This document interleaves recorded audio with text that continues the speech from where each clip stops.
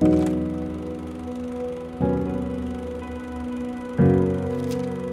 is on behalf of Natalie and Scott that I want to welcome you here today as we seek God's blessings in the joining of their hands in marriage.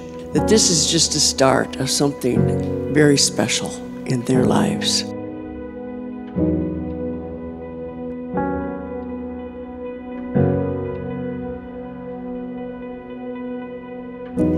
Good marriage must be created.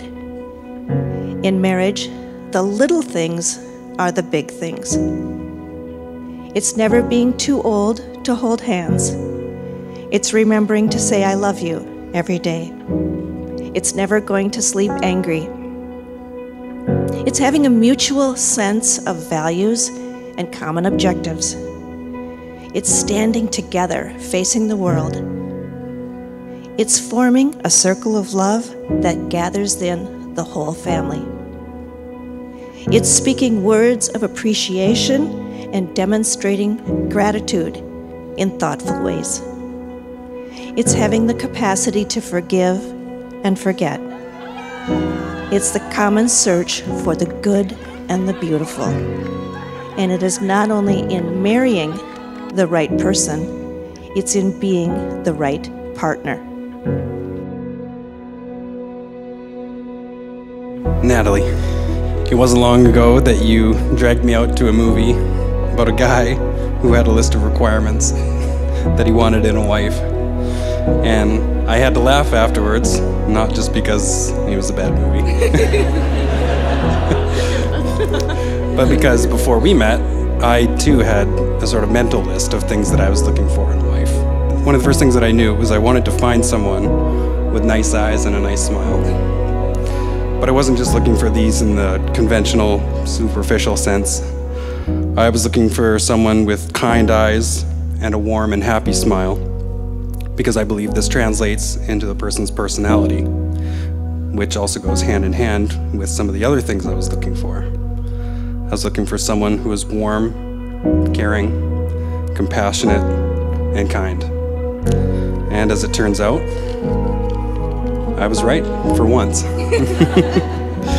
your kind, beautiful eyes and your warm, happy smile truly do represent your personality. You're easily the most caring, thoughtful, and selfless person I've ever known. And it's written all over your face when you smile. You genuinely love to see me and everyone else you care about happy. You celebrate my accomplishments, big or small. So, while I'm not sure it's possible to keep up with you in these areas, I promise to try. I promise to celebrate you. I promise to love you. And I promise to cherish you forever and always. Because you're the best thing that's ever happened to me. And I truly don't know what I would do without you. Scott, I could have never dreamed that meeting you on a beautiful September evening could lead to standing here with you today, and I'm so thankful. I feel so fortunate to be your partner, and I'm honored to vow to you today a lifetime together. I promise to be by your side through whatever challenges that life will undoubtedly have in store. I promise to try to sit through a movie without talking or getting distracted before the opening credits are complete. I promise to be more spontaneous even when your proposed activity isn't already on my carefully crafted agenda for the day. While I can't promise you that I won't shrink your shirts, I promise to love you unconditionally. I promise to cherish our relationship. I promise to support you to be your biggest fan. I promise to put us first and to love you wholeheartedly forever. Thank you for always pushing me to be better and challenging me when I need it. Thank you for being my support system on hard days and always knowing when I need a hug or a word of encouragement. Thank you for loving me, for supporting me, and being the best partner I could have ever dreamed of marrying. I can't wait to continue our lives together and spend forever with you. I love you today, I love you tomorrow, and I love you always. Now may the Lord bless you and keep you.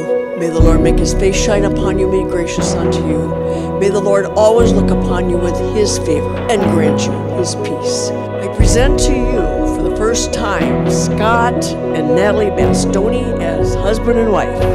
You may kiss your bride.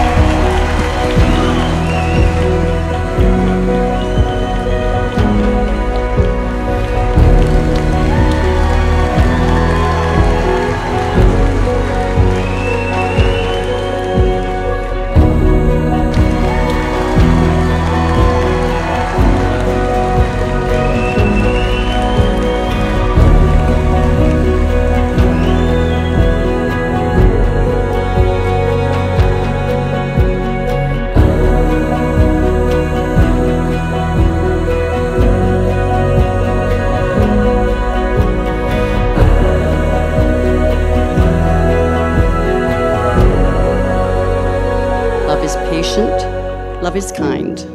It does not envy, it does not boast, it is not proud.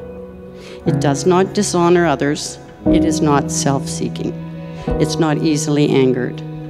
It keeps no record of wrongs. Love does not delight in evil, but rejoices with truth. It always protects, always trusts, always hopes, and always perseveres. Love never fails.